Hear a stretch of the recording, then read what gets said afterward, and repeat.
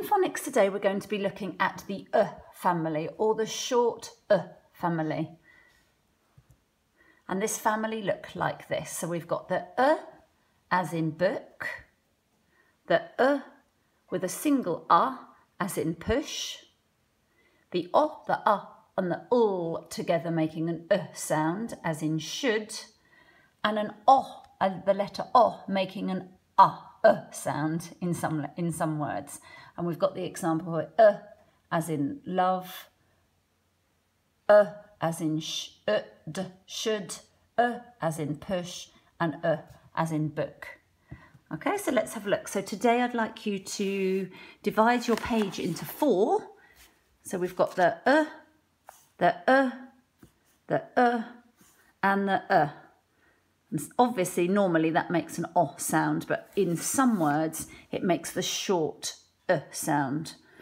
Okay, so your, your page should be divided into here. What we're going to do is we're going to make a word list. Lots of different words um, that we come up with. I will give you some, and then if you would like to add some of your own ones with the help of your parents, that would be fantastic.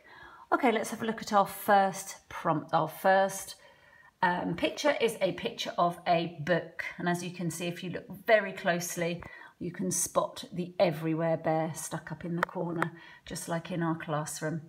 And the Everywhere book is up in that corner. Okay, so it's a book. B-uh book. So you can hear the uh sound. And we know that in book, it's a double O, that double O making the short uh sound. So we can write b, uh, k. And I'm going to underline the uh, the double O's, because they are the, the letter sounds that are making the uh sound. Okay, so if you'd like to add that to your list, book. Okay, Let's see what we've got now. Oh, now we've got three words here words that we use a lot in our speaking, in our writing and our reading, and they're quite tricky words. So I've, they're all here together. So we've got k, uh, d, could, w, uh, would, and sh, uh, d, should. You can notice that in each of them there's a all, and we don't make an all sound when we're when we're reading. So these are all tricky words and words that we've just got to learn. So I'd like you to practice writing all three of these into the column. Okay, and they're going to go in this column here, the o, the uh, and the ul. So let's start with could. Uh, and that's silent L, and then we can hear a d sound at the end. And then there was would. Would you like to come to my house? Not the type of wood that you would burn. I'll write down here the type of, oh, let's write underneath, the type of wood you would burn or the type of wood that a table might be made out of. That's written like this, but this is, would you like to come to my house? Would you like to go to school today? So we've got could, would, and the last one was should. So we've got the sh sound, the uh sound, and the d sound. And it's the o, the ah, and the all making the uh sound in those words. Okay, fantastic. They're very tricky words, though, so well done. Okay, so here we have a picture of a cheeky monkey. Monkey. Now, it does sound like there's an ah sound in monkey, but there isn't. The, the uh sound is made using the oh, making an uh sound. Mm, ah,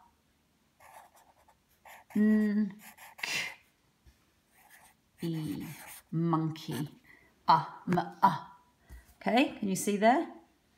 It's the o making the ah sound, monkey.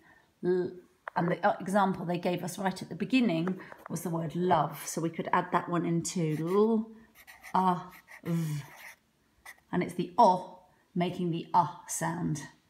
Very confusing phonics, isn't it? Well done. Okay, so we've got the monkey. Oh, we've got some cushions, cushions, and you can hear the uh sound again in cushions. So let's add that in, and that's the uh made by the ah. So k, uh, sh, ums, cushions, and it's the uh here the ah, making the uh sound in cushions. Well done. That's a very good list if you can spell all those words. Oh, and here we are. We've already added some wood in. Okay, and that isn't the wood that we've got here, the wood and the wood, but how I've written wood actually goes w, uh, d, and it's the double O here making the uh sound in wood. And that's the wood that you would burn on a fire, wood that trees are made out of. Fantastic. Okay. Oh, and the word love. I'm jumping ahead of myself today. And we've already written the word love. If we let's just have a look. And it's the o making the ah sound in love. Well done. oh, now these people here, one set of people are pushing and one set of people are pulling. Push and a pull. P, uh, sh, p, uh, uh, pull. So both of those words are going to go into this column here. So we're going to do a p, uh, sh. If you have to push the door, and it's the uh sound here, and the other set of people are p, pulling, p, uh, uh, pull. Fantastic, well done. oh, what's that? That is somebody's foot. F, uh, t, foot. wonder if you can guess which column that's going to go in. Is it going to go here, here, here, or here? You've guessed it. Well done. Foot has got the double O, making the uh sound. F, uh, and it's the double O, making the uh sound. Fantastic. Well done. And that is the uh and the short uh family. Double O, uh, oh, ah, all making the uh sound and the oh making the uh sound. Fantastic. That's that this family done. Um, bye for now. Thanks for watching.